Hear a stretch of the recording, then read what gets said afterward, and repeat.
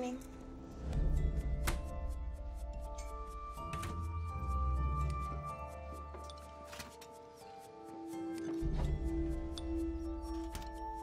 Juice? Why are you being nice to me? Why didn't you tell me Ian was back? Because normal for us is not speaking.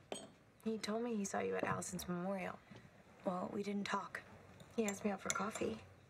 That's good, right? Ian broke my heart, Spencer. And I'm still getting over Wren. So I said no. I'm really sorry about Wren, Melissa. I really am. Yeah.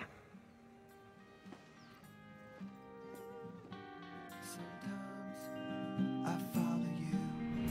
I look through your No, here. Oh, let me show you. Right there. Maybe mm-hmm. get your number. We could go out sometime.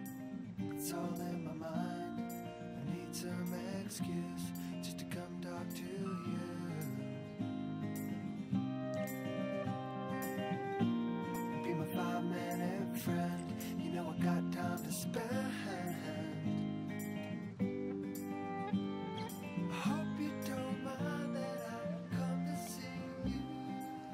Did you like that?